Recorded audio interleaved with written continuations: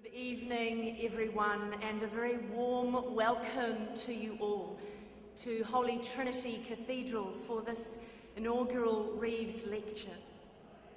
Dame Anne, Dame Kath, Jo Brosnahan, Chair of the Trustees of Leadership New Zealand, Trustees and Advisory Trustees, dignitaries, ladies and gentlemen, on behalf of the Cathedral Council and community, it is our privilege to host this exciting evening.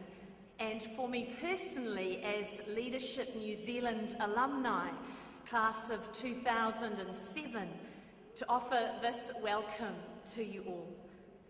And to those who need no welcome here, for it is their place, Beverley, Sarah, and Jane, and your families, are all very glad to gather with you tonight, for it is our privilege to honour Bishop Paul here. And this is a fitting place to be. As Bishop of Auckland, Bishop Paul's chair, his cathedra, now the seat of his successors, is in this place. Cathedrals, by their very nature, as they live today, so too they hold and are informed by the stories, the voices, the challenges, the legacy of those who have gone before.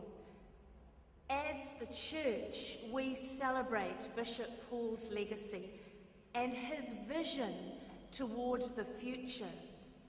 And not only in the church as bishop and archbishop, but also in his leadership in Aotearoa, New Zealand, and the world.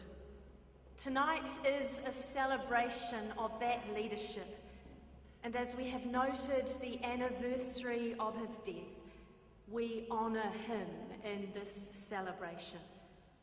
Welcome, welcome, welcome to you all.